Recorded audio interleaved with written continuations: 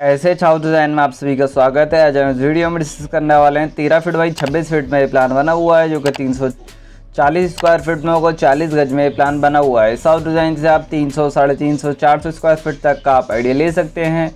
छोटा घर है बट बहुत अच्छी प्लान की गई है। आज हम इस वीडियो में डिस्कस करने वाले हैं इस प्लान के वेंटिलेशन डायमेंशन इस प्लान की कॉस्ट वगैरह क्या है।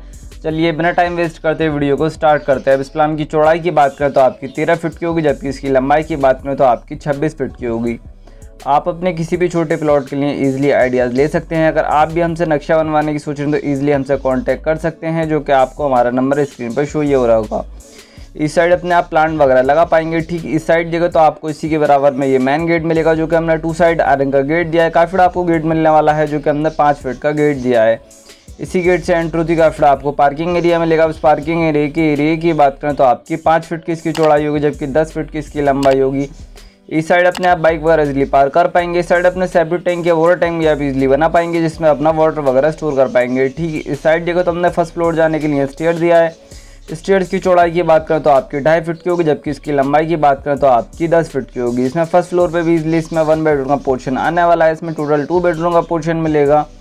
ठीक, सामने में देखे तो हमने टॉयलेट कम्बाइन बाथरूम दिया है, जो कि हमने बाहर से दिया है। इसी में आपको ढाई फीट का गेट मिलेगा। इसी गेट से एंट्र होती काफ़ी आपको टॉयलेट कम्बाइन बाथरूम मिलेगा।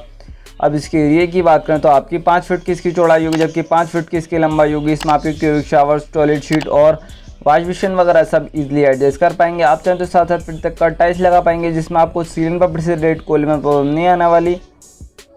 अब साइड से उसका वेंटिलेशन बहुत ज़्यादा इंपॉर्टेंट है, इसीलिए हमने विंडो भी दिया है, जिसके द्वारा इसका वेंटिलेशन वगैरह होता रहेगा।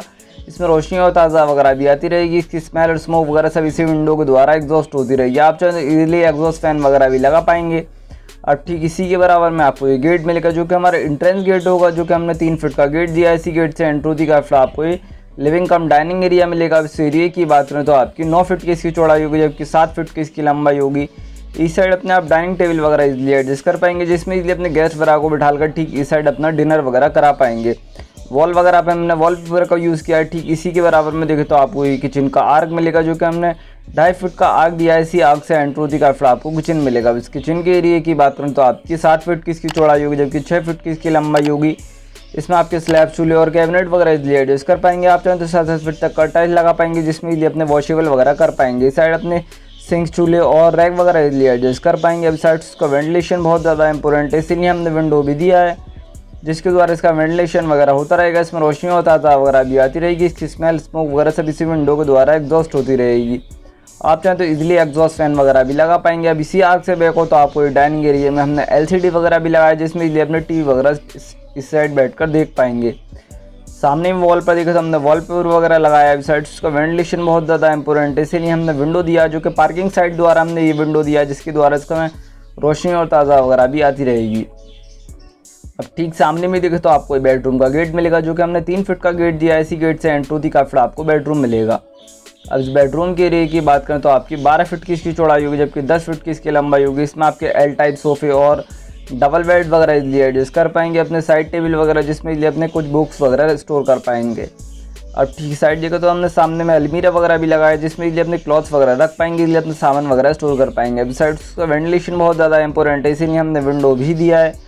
जिसके द्वारा इसका वेंटिलेशन वगैरह होता रहेगा, इसमें रोशनी और ताज़ा वगैरह भी बेडरूम में आती रहेगी। सामने में जगह तो हमने वॉल वॉल पेपर वगैरह लगाया, जो कि हमने थ्री डी वॉल पेपर लगाया, जिसमें इजी कुछ इंस्टॉल वगैरह आप कर पाएँगे वॉल पेपर वगैरह।